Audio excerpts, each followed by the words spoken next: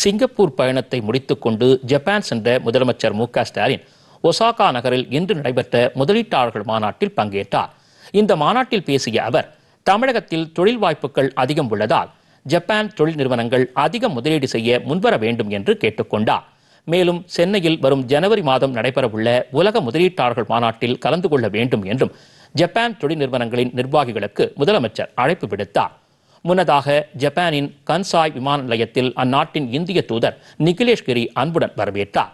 தமிழில் வாசகங்கள் எழுதப்பட்ட பதாகைகளை ஏந்தியபடி முதலமைச்சருக்கு மக்கள் வரவேற்பு தெரிவித்தனர்.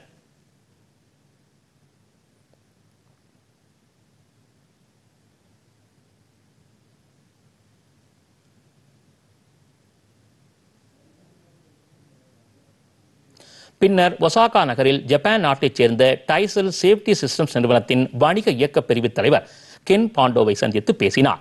சென்னையில் வரும் ஜனவரி மாதம் நடைபெறவுள்ள உலக முதலீட்டாளர்கள் மாநாட்டில் கலந்து கொள்ளுமாறு அவருக்கு அழைப்பு விடுத்தார்.